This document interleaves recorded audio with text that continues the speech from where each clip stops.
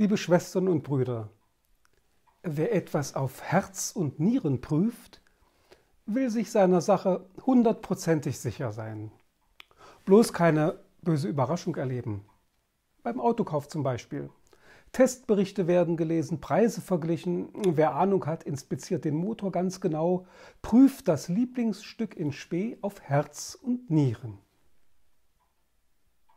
Etwas auf Herz und Nieren prüfen diese Redewendung kommt aus der Bibel.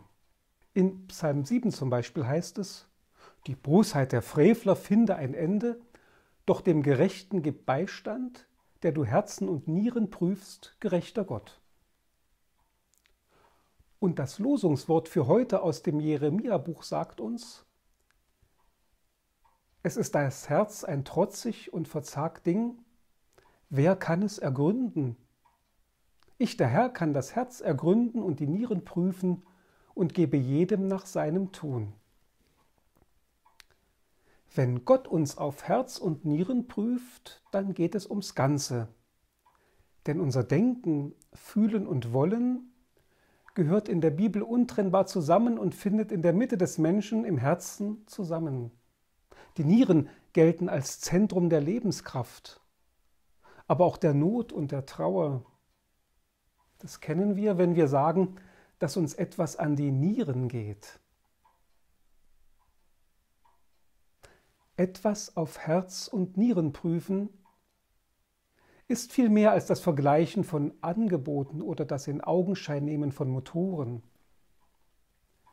Ich bitte Gott für uns und alle Menschen, lass unser Herz immer wieder zur Werkstatt Gottes werden ich schaue in mich hinein und versuche mich in die Situation anderer hineinzuversetzen. In die Kassiererin im Teegut, die geduldig immer und immer wieder die Frage nach der nächsten Toilettenpapierlieferung beantwortet. In den Paketboten, der hin und wieder Zeit für ein Schwätzchen hatte und jetzt schneller unterwegs ist.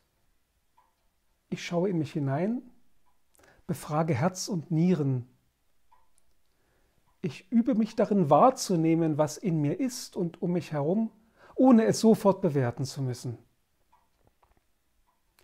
In der Aufgeregtheit und Besorgnis dieser Tage finde ich Frieden in diesen Worten von Albert Frei. Gott sieht unsere Tränen, Gott fühlt unseren Schmerz, Gott kennt unser Sehnen, weiß um unser Herz. Er kann uns verstehen, wenn keiner uns versteht, Trost und Liebe geben, wenn uns die Hoffnung fehlt.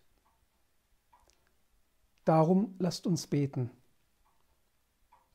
Du schenkst uns Worte, Gott, auch in Zeiten, in denen sich alles um Corona dreht.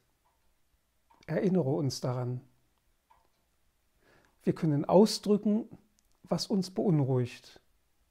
Wir können teilen, was uns ängstigt. Wir können weitergeben, was uns Mut macht. Wir können sprechen, Gott, mit Menschen unseres Vertrauens und mit dir. Gib uns Worte, die uns und andere trösten. Du hast uns Verstand gegeben, Gott, auch für Zeiten, in denen die Angst groß wird. Erinnere uns daran. Wir können unterscheiden, wo ist Vorsicht berechtigt, was macht uns nur nervös und panisch welchen Informationen können wir trauen? Wann ist es besser, einfach wegzuhören?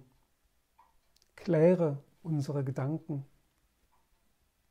Du hast uns Augen und Ohren gegeben, Gott, auch wenn wir unruhig mit uns selbst beschäftigt sind. Erinnere uns daran. Lass uns sehen und hören, was andere brauchen. Führe uns über unsere Sorgen hinaus ins Weite. Lass uns die Menschen im Sinn behalten, deren Leben ganz unmittelbar bedrängt und bedroht ist. Stärke unsere Liebe. Wir danken dir, Gott, dass wir leben. Das ist nicht selbstverständlich, obwohl es uns oft so scheint. Lass uns jeden neuen Tag mit Freude begrüßen. Lass uns spüren, dass es gut und wichtig ist, auf der Welt zu sein. Gott schenke euch eine ruhige Nacht, ein frohes Erwachen und einen gesegneten neuen Tag.